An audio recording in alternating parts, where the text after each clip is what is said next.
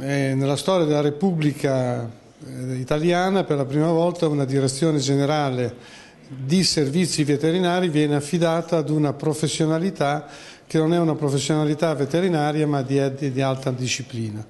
Quindi per noi è una eh, situazione importante da eh, esaminare con attenzione e per la quale abbiamo concordemente assieme agli altri colleghi degli altri istituti zooprofilattici, delle università, dell'Istituto Superiore di Sanità, del sindacato dei veterinari di medicina pubblica veterinaria, dell'Associazione Nazionale eh, dei Medici Veterinari e della EMPAF abbiamo deciso di eh, scrivere una lettera al Ministro chiedendo di essere eh, ascoltati per darci modo di manifestarle le nostre preoccupazioni e anche la nostra eh,